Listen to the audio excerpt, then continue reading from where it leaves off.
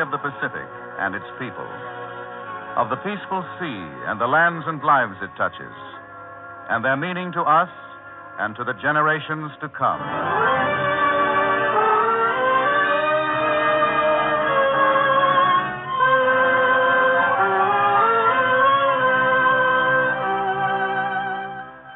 The Pacific Story, presented by the National Broadcasting Company and dedicated to a fuller understanding of the vast Pacific Basin. This broadcast series comes to you as another public service with drama of the past and present and commentary by Dr. H. H. Fisher, authority on Russia and professor of history, Stanford University.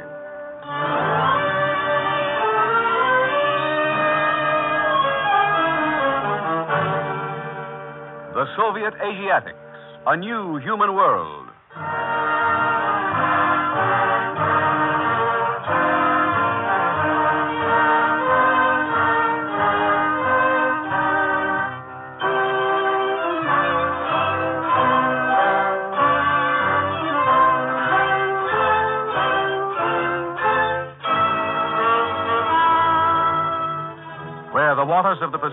Wash up on Soviet Asia, has developed a strategic stronghold. In the landlocked regions behind the maritime provinces of Siberia, there is the ceaseless roar of blast furnaces, powerhouses, mines, factories. And manning this incredible development are more than a hundred different peoples Uzbeks, Buryats, Kalmuks, Yakuts, Turkomans, Tajiks, Kyrgyz. During World War I, many of these peoples were in open revolt against the Russian government. Today, they are fighting in the ranks of the United Nations, and they bid fair to play an important role in the great Pacific era that lies ahead.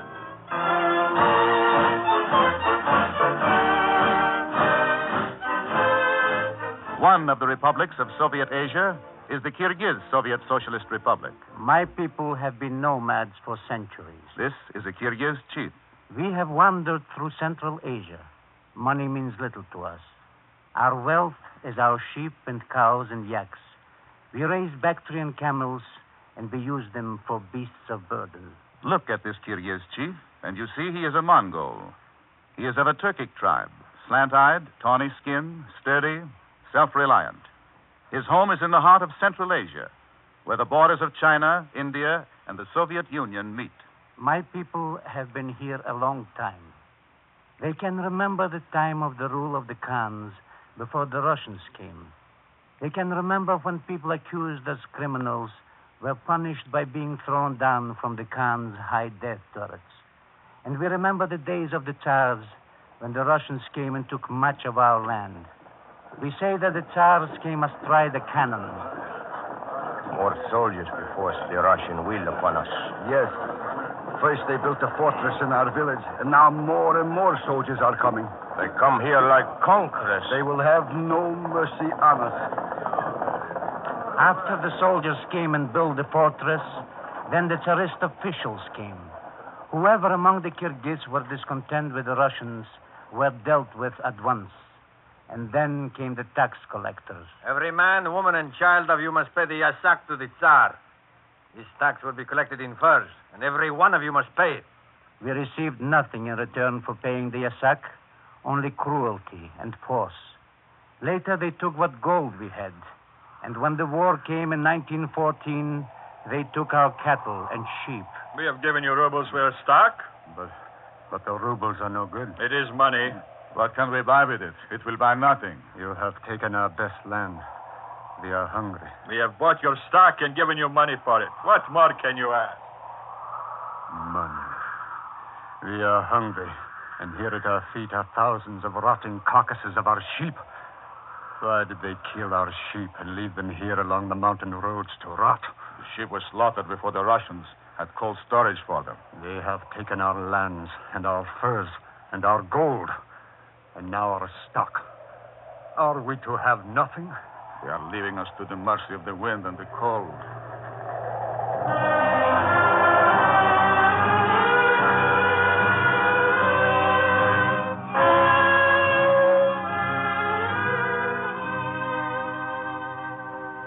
The war in Europe was not our war.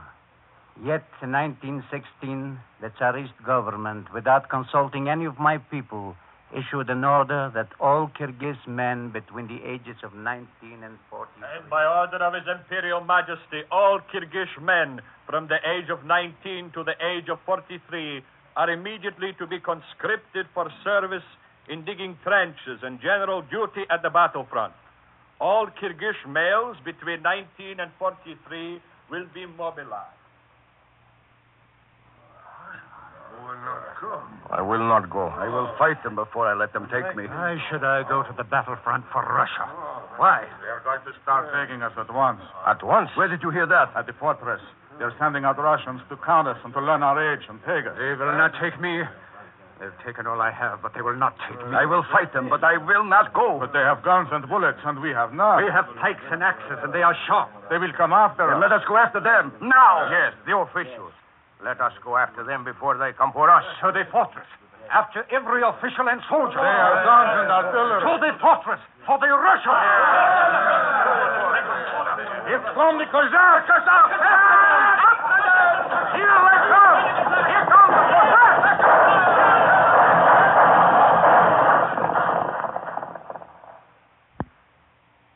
The revolt of my people spread through all Kyrgyzia. Blood flowed everywhere. My people killed the officials and the census takers and the Russian colonizers, and the Russians killed my people wherever they found them. The Russians tried to mobilize 600,000 Kyrgyz men, but they only had trains enough for 7,000. To put down the revolt, General A.M. Kuropatkin came to Kyrgyzia.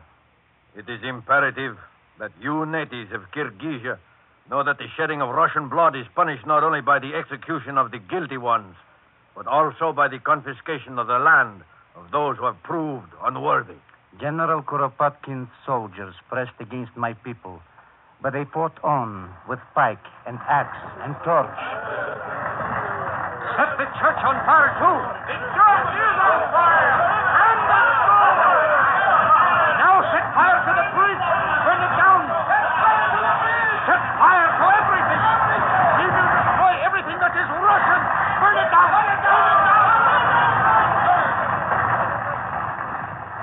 Hospitals and schools and churches, bridges and railways, all were destroyed by my people.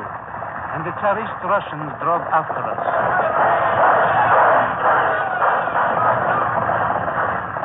Thousands of Russians have been brutally murdered, and the number of Kyrgyz killed is not known. Many Kyrgyz were captured and tried by court martial. Of these, 347 were sentenced to death. But I found it possible to modify the sentence of many of these so that actually only 51 were executed. We have confiscated much of the land of the Kyrgyz and driven the Kyrgyzians out. This was General Kuropatkin's report to the Tsar. The massacre continued until my people were driven into the hills of China and Afghanistan. We lost 70% of our stock and 30% of our people in the World War. What other people lost so much?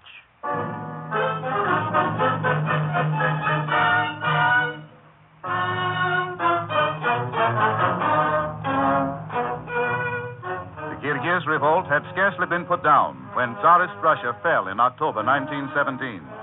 Immediately, the new Central Soviet government proclaimed the freedom and equality of all people in Russia. Any inequality among the peoples of the Soviet Union will be harmful. It will create discord. It will make the USSR weak and will play into the hands of hostile enemies and the Tsarist imperialists who wish to return to power. The USSR must stand for a national life within the Soviet republics, each with its own language, its own national tradition, its own land. Slowly, the exiled Kyrgyzians drifted back to the lands they had roamed so many, many centuries. In 1920, the Kyrgyz Soviet Republic was established. The Uzbeks, the Turkomen, the Tajik peoples also established their republics. The antagonism between the Kyrgyz and the other Asiatic provinces was not immediately overcome. But the Kyrgyzians, like the other peoples of Soviet Asia, set about putting their house in order, began the conquest of the desert wastelands. Oh, come on, Ivan. Get up on the tractor. No, no. Come on, come on, get up on the seat. and we will show you how to run it. No, no, no, no. I'm afraid. It is like sitting on a horse. It will not hurt you. It, it roars and trembles. It is angry. No, it will do anything you want it to do. Get up. Come, come, let me help you up on the seat. No, no, no, no, no. This is the way roads are built everywhere.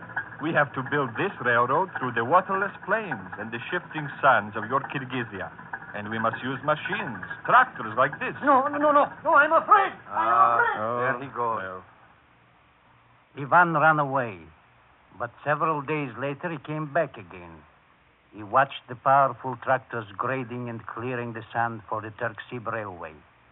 Where this railway was built had been only camel caravans for centuries past. That's right, Ivan. Just sit there quietly on the seat. It is an iron monster. I will stand here beside you. It, it shakes and growls. Now, press your foot down on that thing right down there. Uh, uh, this, Now, now. And when you have it down, pull this lever this way. uh, uh, this one, uh, uh, like this. That's right. My people watched Ivan and the other shepherds as they learned to run the tractors and other machines in building the railway. When Ivan overcame his fear, he became a first-class tractor man. There is nothing to be afraid of. Come, Uko. I will show you how to run the tractor. If it does not harm you, it will not harm me. Ivan has become very brave. He is becoming wiser. He is the master of the tractor now. Ivan can handle a tractor under any condition now. Look out over there. Now pull back that lever, Uko. That's it. Pull.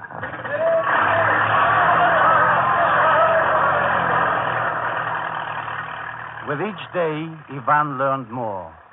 He learned how to take care of his tractor as well as run it. He learned to read a little. He was no longer a simple shepherd. He began to ask questions. Is there really water with great boats far on the other side of those mountains? What kind of people live there? Are the boats really as big as our tractors?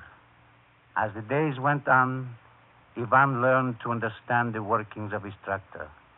He learned why the sand must be graded and cleared from the railway. He learned the importance of a railway to him and to my people. He became a leader. Day after day, the tractor work went on. And when the railway was built through, a train brought a load of supplies to Ivan's village.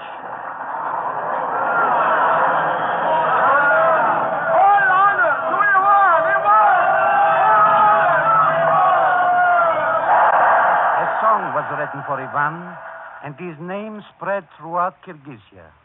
As Ivan learned, so have my people learned to live in this new world. In the space of a few years, the Kyrgyzs made the amazing transition from simple nomad life to a modern industrial life.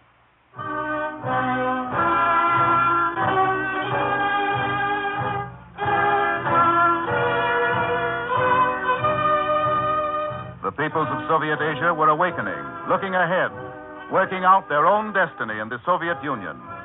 The Central Soviet government poured billions of dollars into the development of Soviet Asia. From European Russia came, and the Ukraine, came millions of peoples.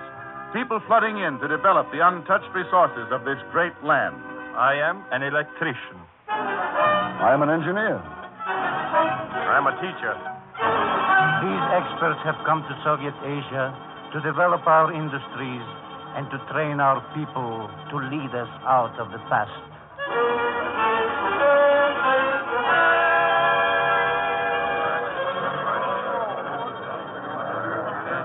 People who came found oil and mercury and tin and lead and gold. They found coal and copper and water power. They found antimony and they found iron. And more and more experts came. I am an economist. I am a chemist. I am an architect. I am a doctor. I'm a metallurgist. I am a director of industry. We have increased industrial production nearly 280% since the first five year plan. And more and more people came to work, to build, to improve. Schools were started all over our Kyrgyz Republic. Teachers were trained to teach our young. Superintendent, how many schools do we have? 1,500 elementary schools, 119 high schools, and three universities. And uh, how many of our young people are pupils? More, more than 280,000. My people soak up all the education they can get. They thirst for understanding. Today in the Kyrgyz Republic, we have theaters, newspapers, magazines, libraries, motion picture houses. All are working toward the end. that- Through these channels, a national life, free from racial prejudice, is rising in Soviet Asia. The peoples of Soviet Asia, over whom the Russians once ruled, now rule over the Russians in their republics. Intermarriage between the Russians, the Kyrgyz, the Uzbeks, the Kazakhs, the Tajiks, and all the other peoples of Soviet Asia is now the custom. I have married a Russian woman, and we have three children. This is Ivan, the Kyrgyzan, who became a leader in clearing the railway with tractors. There is no race prejudice between my people and the Russians. We have the same opportunities as the Russians.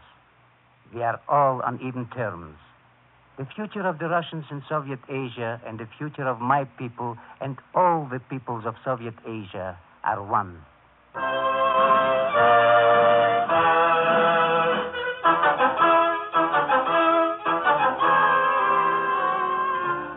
Thus are the peoples of Soviet Asia tied together the white men and the yellow men, the Mongoloids and the Slavs, tied together in common purpose. The same people who in 1916 were at each other's throat. Thus were they united when, in 1940, Hitler has attacked Russia. Hitler is bombing Russian positions. The Nazis are driving into Russia with all fury. The Nazis are smashing against Leningrad, Rostov, Kharkov. Hitler is driving past Smolensk on the road to Moscow.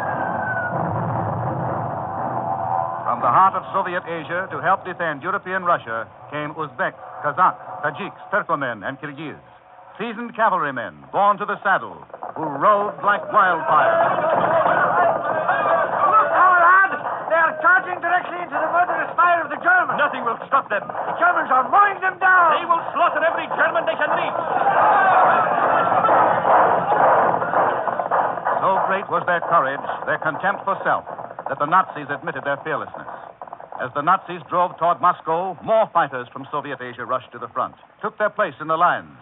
In the battle before Moscow, Tanks are coming, Captain. See them through the smoke. Seven, eight, ten. They're coming down through the gully. There comes two more. Twelve tanks. We have got nothing but hand They grenades. have bottles of gasoline. Wait for my order. Yes, comrade. How many of us are there left? Uh, 28, comrade. That's all that's left, Captain. 28. We must hold. We cannot let them break through. They have spotted us. They have opened fire. Down. Keep your hand grenades ready. Wait for my order. I'll scorch them to death with this gasoline.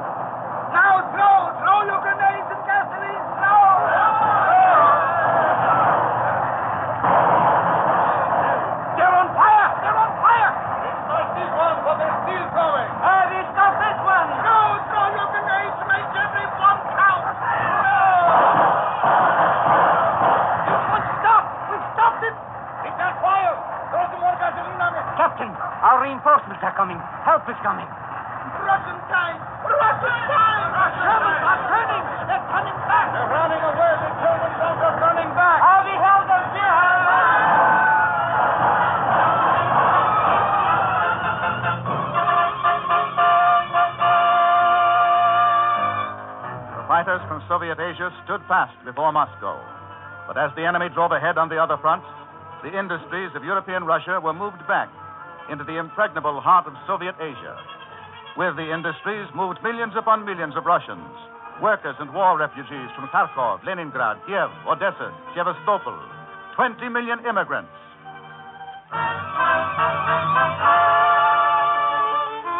Between the Urals and Lake Baikal and eastward to where the Pacific washes up on the shores of Siberia, a new world emerged.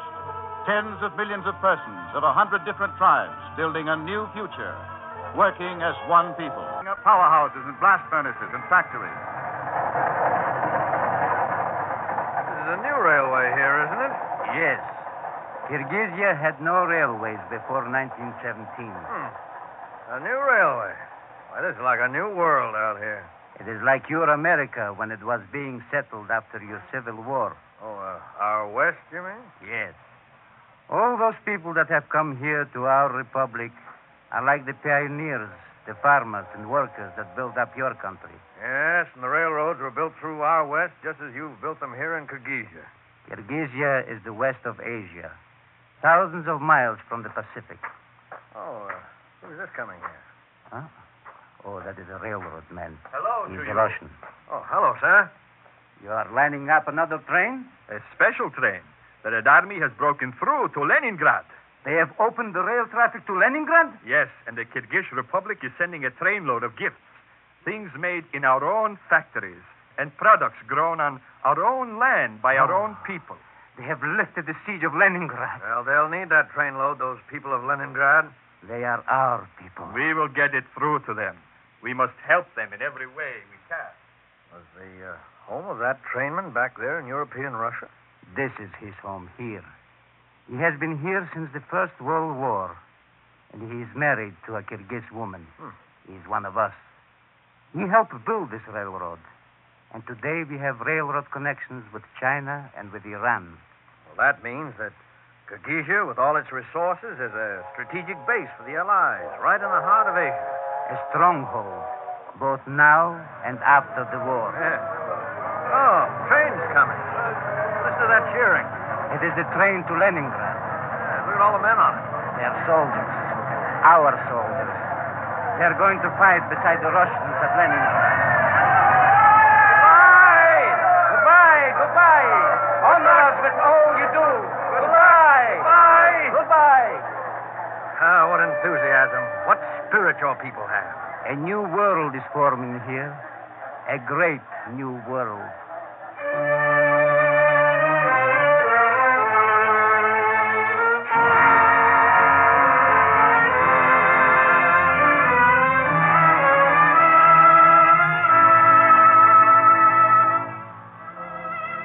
Thousands of miles inland from where the Pacific washes the shores of Siberia, the landlocked peoples of Soviet Asia are transforming the wastelands into a rich nation, which is playing an important part in the fighting of the war, and will play an even more important part in the great Pacific era of tomorrow.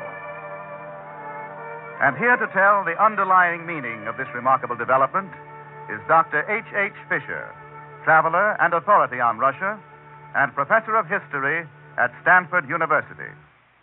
Dr. Fisher. Twenty years ago, in Moscow, a man came to my office. Here, said the Russian doorman, is some Chinaman to see you. A Chinaman? Yes, and he says he's come a long way because he has something important to tell an American. He will not go away until he tells it, and I think he will stay here forever. The Chinaman saw the American. He wasn't a Chinaman, though it was easy to see why the Russian took him for one. He was a Kalmyk, he told me, and he had come the long miles to Moscow from the Hungry Steppe, that desolate region on the lower Volga below the bend near which the city of Stalingrad stands. He had come because his people were starving, and he had heard that in Moscow there were Americans who had brought food from their far country for the hungry of Russia. He told me, very quietly, but at considerable length, the bitter story of his people, how badly they had fared at the hands of the Tsar, and how it was no better under the Soviets.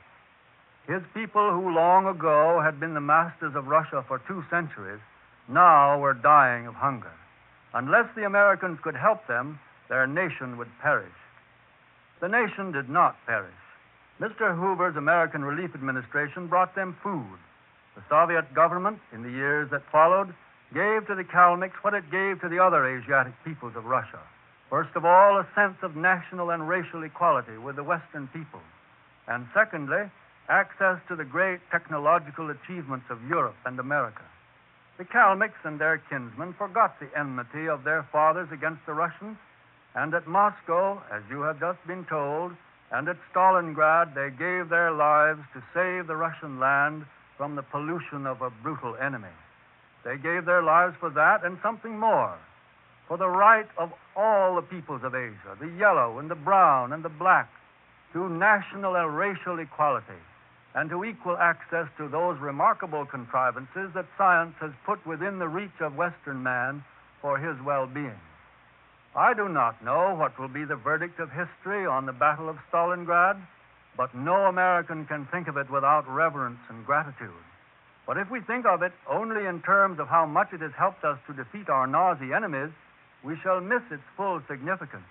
We must think of it in terms of the fundamental issues of the war.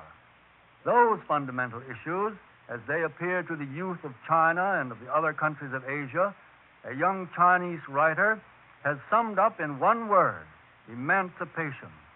They mean emancipation from foreign aggression, from foreign rule, from native exploitation. They mean the application to all the peoples of East Asia of the principles that Russia has applied to the eastern peoples of the Soviet Union, the principles of national and racial equality and the end of imperialism. They mean what the founder of the new China, Dr. Sun Yat sen, meant by his three principles of the people national independence, political democracy, and economic and social welfare. They mean what our own great emancipator meant by government of the people, by the people, and for the people. How these great principles shall be realized depends in a great measure on how we and Russia stand in the face of this struggle for emancipation. We realize, when we look at the map of Asia, that almost half of that continent is within the Soviet Union. We can see that Russia and China have a long common frontier, almost 5,000 miles. We can foresee that in the age of air transport now dawning, inner Asia, where Russia and China and India meet, may regain the place it held before men learned how to cross the sea in ships. It is easy to see the geographical significance of these frontiers for the movement of people and goods by air. It is less easy to apprehend the political significance of another common frontier, a frontier of the spirit that joins Russia and Asia.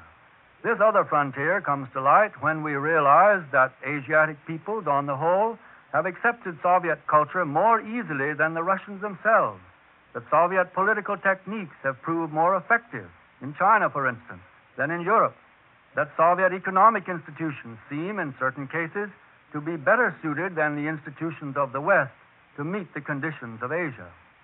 Across this frontier of the spirit, Russia is expanding, not as a new imperialism disguised with fine phrases, and not at the expense of the peoples of Asia, but in unification with them through the adoption of similar political and economic systems. All of us who are willing to look beyond our noses, and sometimes this is a very disturbing experience, should recognize the imminence throughout East Asia of the spirit that within a single generation has so transformed the Asiatic peoples of Russia. It is a fact to be taken account of, not an occasion for hysterics. Let us not forget that we are fighting for the right of people to govern themselves in Asia as well as in Europe, and that the peoples of Asia are fighting to free themselves not only from Japanese warlords, but from the servitudes of their own past. The emancipation the young Chinese writer speaks of is on the way and every victory over the Axis brings it nearer. When it comes, we must be able to recognize it for what it is. We may oppose it at our own great peril. We have the great privilege of giving our leadership as Russians have done in Soviet Asia. We cannot stand aside. Thank you, Dr. Fisher.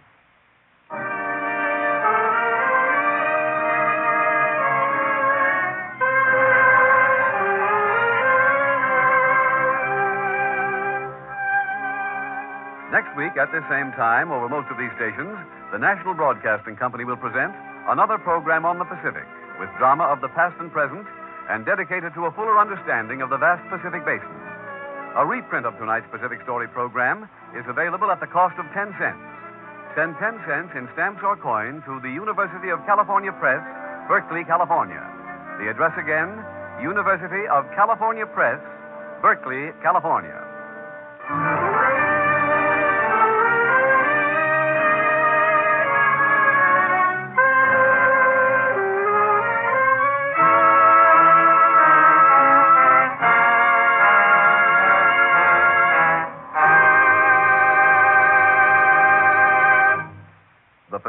Story is written and directed by Arnold Marquis. The musical score is composed and conducted by Thomas Peluso. Your narrator, Gayne Whitman.